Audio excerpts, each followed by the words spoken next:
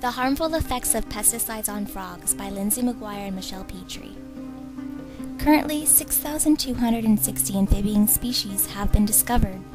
Of those, 5,532 are anurans, the group that includes frogs and toads.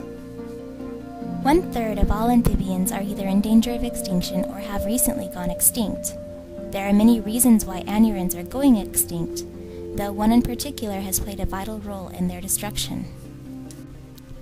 Chemical contaminants called pesticides are a type of poison that cause a steady decline in frog and toad populations.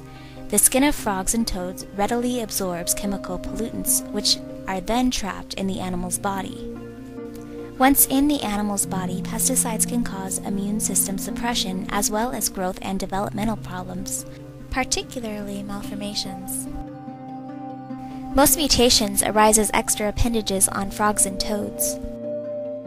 The pesticides also interfere with certain hormones leading to hermaphroditism in some frog species.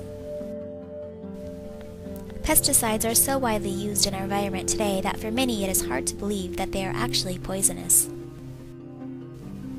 The EPA estimated that nearly 5 billion pounds of pesticides were used in 2001 alone. The most commonly used pesticide today is atrazine. We apply it liberally over our crop fields and our grassy lawns.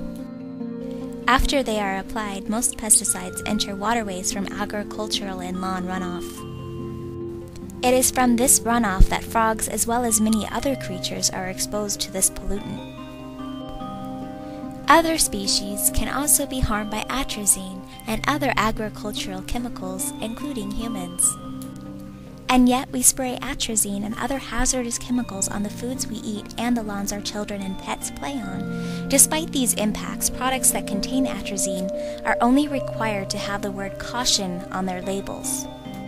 Growing awareness of the many harmful impacts of pesticides are motivating many people to develop means to lessen or entirely replace their use. Planting methods such as crop rotation and intercropping help maintain and sustain the fertility of soil. Crop rotation involves planting one type of crop for one growing season and then a different one for the next. This method takes into account the nutrients needed by each plant and allows for soil recovery between planting cycles. It also helps to prevent soil erosion and degradation, decreases the use of synthetic fertilizers, and reduces pest problems. Intercropping involves planting multiple crops on the same plot of land. The main goal of this method is pest reduction. For example, one type of crop that a pest might like may be surrounded by another they do not. This helps to prevent the total loss of the crop.